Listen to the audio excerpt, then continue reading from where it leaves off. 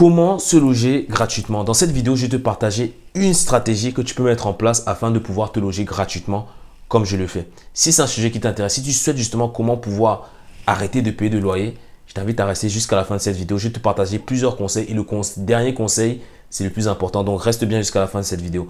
Mais avant de commencer, je t'invite à t'abonner à cette chaîne YouTube pour rejoindre des dizaines de milliers d'entrepreneurs et investisseurs. Je t'invite également à nous mettre un pouce bleu, à t'abonner et également à activer la petite cloche pour être notifié de toutes les nouvelles vidéos qui vont sortir. N'hésite pas également à laisser un commentaire, ça fera sûrement l'objet d'une prochaine vidéo. Mais enfin, je t'invite à rester jusqu'à la fin de cette vidéo car tu auras accès à une masterclass totalement offerte où je t'explique comment mon groupe d'investisseurs et moi-même investissons plusieurs millions en immobilier malgré cette situation de crise.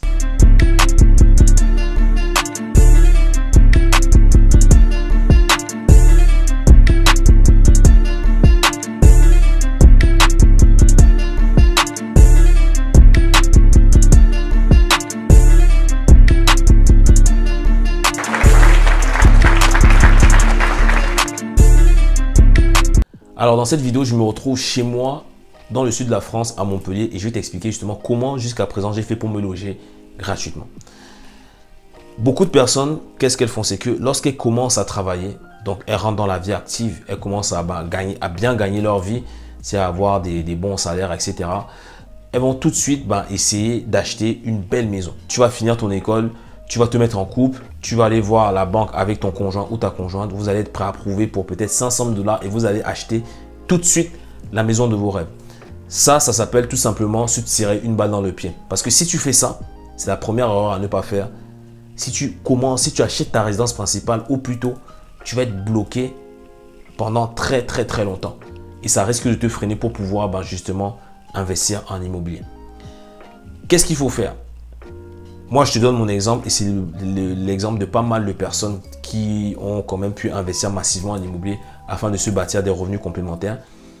C'est que lorsque tu vas commencer, en tout cas, que tu sois déjà, euh, enfin, que tu sois déjà actif ou que tu sois sur le point d'être actif, c'est qu'il va falloir vivre en dessous de tes moyens. Moi, lorsque j'ai terminé mes études, euh, j'avais pourtant un salaire de cadre, mais je continuais à vivre comme un étudiant. J'achetais toujours en colocation. Voilà, j'essayais quand même d'avoir un loyer assez bas pour pouvoir finalement avoir le maximum de cash disponible, le maximum de reste à vivre disponible en vue d'investir en immobilier. Un de mes coachs que j'avais eu à l'époque, il m'a dit quelque chose qui a littéralement en fait changé ma façon de voir les choses. C'est que tout l'argent que je gagne, je ne peux pas le dépenser comme ça. Idem pour le loyer. Hein. Bien sûr, au début, tu es obligé de payer un loyer, mais l'objectif, c'est que tout l'argent que tu gagnes, en tout cas que tu investisses le maximum afin de te payer justement ce dont tu as besoin ce dont tu as besoin pour vivre et ce dont tu as même besoin pour profiter de la vie, y compris le loyer. Comment est-ce que j'ai procédé? Moi, au lieu de m'acheter une très belle maison, un très bel appartement au début de ma vie active, j'ai vécu en dessous de mes moyens, donc j'ai vécu en colocation pour pouvoir épargner le maximum d'argent afin d'investir en immobilier. Et mon premier but lorsque j'ai investi en immobilier, c'était de me générer l'équivalent d'un mois de loyer. Et c'est à ce moment-là que tu ne paies pas de loyer en fait. Parce que si demain tu investis dans de l'immobilier, tu investis 1, 2, 3, 4 biens et que ça te génère suffisamment de cash flow à la hauteur de ton loyer, bah, tu peux utiliser ce cash flow là pour vivre. Donc je vais te faire visiter, je vais te parler un peu de ça en même temps. Donc là, voilà, on a l'espace de vie, on va dire. Donc euh, salon avec les petites lampes. Voilà. On a également là euh, l'espace pour manger. Donc là, ici, on a euh, l'espace avec la télé. Et là, tu vas voir, on a une petite fenêtre donc là, on a un Pantin, juste à côté de Paris. Donc ça, c'est le salon. Donc tu vois que c'est une pièce assez euh, spacieuse, on va dire. On a tout refait à neuf, espace cuisine. Voilà, on a les différentes armoires. Hein. Tout est meublé, hein. tout est vraiment meublé. Moi, je découvre comme toi. Hein. Voilà, je vois avec petite salade. Et euh, voilà, micro-ondes, etc. Donc euh, j'ai vraiment tout délégué pour, meubler.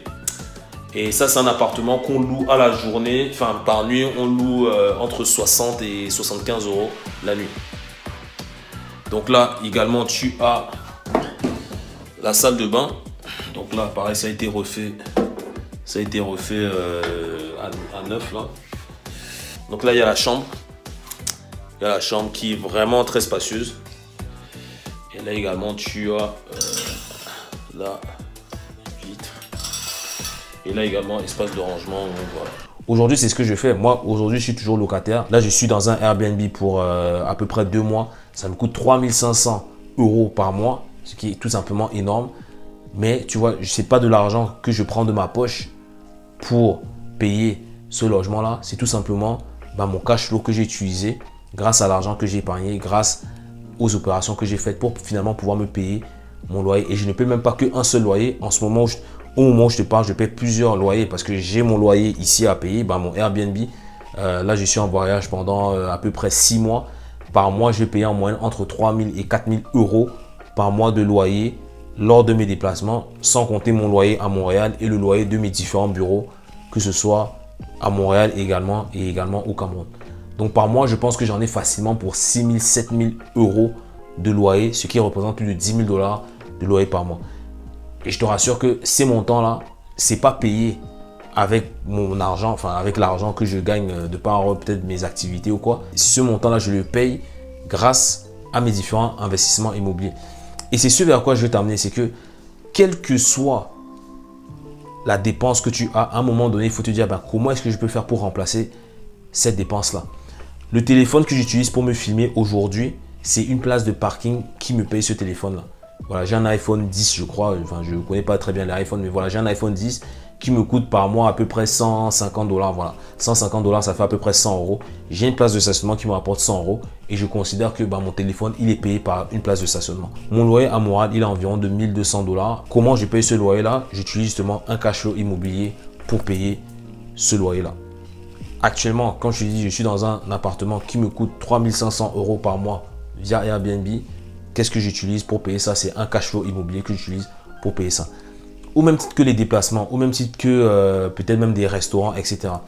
Et c'est ce vers quoi on amène nos différents participants. On a plusieurs participants justement qui nous ont fait confiance, qui ont mené des opérations immobilières. On les a amenés à un certain niveau. Et aujourd'hui même, ils sont devenus partenaires dans notre fonds d'investissement qui s'appelle Global Wealth Management.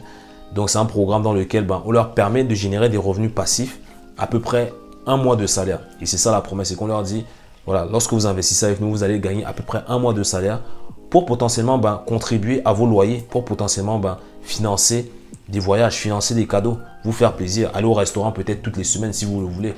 Tu vois, si tu vas au restaurant, peut-être pas toutes les semaines, mais au moins plusieurs fois par mois, tu peux aller au restaurant, t'offrir un bon restaurant sans te dire que ah, peut-être j'ai pris sur mon épargne, etc.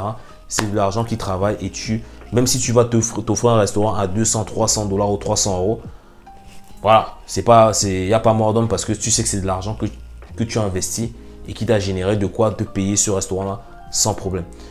Et c'est pour ça que je te dis qu'aujourd'hui, il faut que tu puisses investir en immobilier afin de te générer de quoi remplacer ton loyer en fait. Et c'est comme ça que tu vas pouvoir loger gratuitement. Demain, si tu veux changer de logement, du fait d'avoir un cash flow au moins équivalent à la moitié de ton loyer actuel, tu vois, tu peux, te, tu, peux euh, bouger d'un appartement à l'autre sans même te poser de questions. Tu vois, si demain tu en as marre, par exemple, de, l'endroit où tu vis, tu peux aller changer de logement. Même si ça te coûte un peu plus cher, tu sais que bon, le montant que tu vas payer va être compensé via ton cash flow. Et c'est la raison pour laquelle moi je suis encore locataire aujourd'hui parce que je me lasse très rapidement des logements. Tu vois, je, au bout de deux ans, trois ans, je commence à me dire Ah là, cet appartement me plaît plus, je préfère déménager.